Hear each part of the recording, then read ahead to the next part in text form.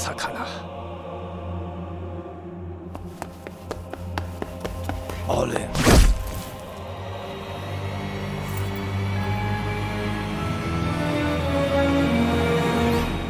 僕は父を殺したんだ。え？わからないんだ。どうしてあんなことをしたのか。早く行かなきゃ。奴が来てしまう。夕闇迫る雲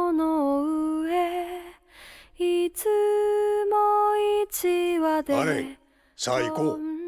あなたのお名前は？ハイタカだ。はきっと悲しかろう。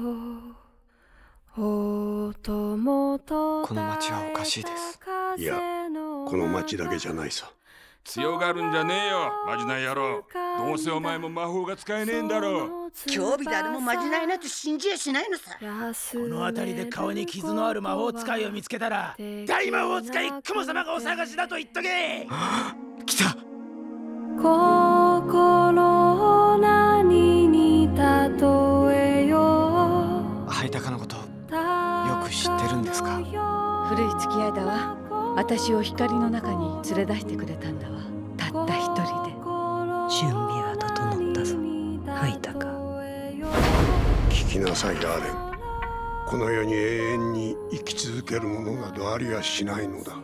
自分がいつか死ぬことを知ってるということは我々が天から授かった素晴らしい贈り物なのだよされ